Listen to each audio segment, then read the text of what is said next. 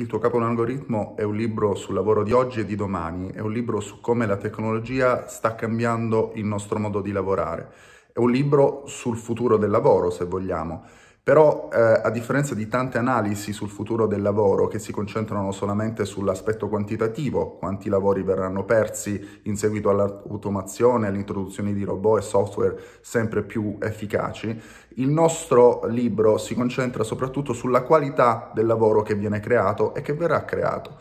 La tecnologia infatti ha un impatto eh, significativo sul nostro modo di lavorare, sul fatto che eh, i nostri manager sono sempre più capaci di monitorare anche molto pervasivamente ehm, la nostra attività lavorativa con software, con GPS, con eh, algoritmi che ehm, molto spesso si risolvono in eh, strumenti di sorveglianza che vanno molto oltre quello che è desiderabile in una società democratica.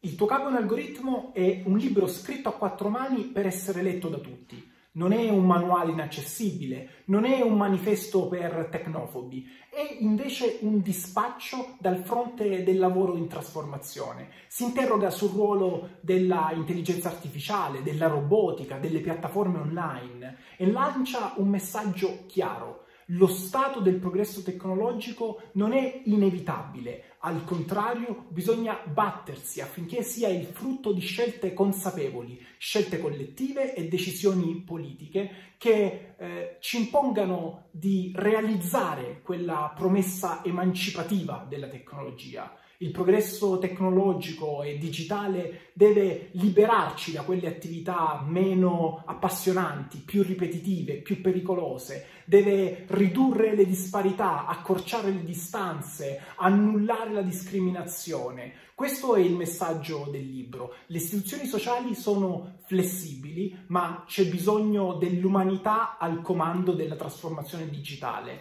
per vivere e lavorare meglio.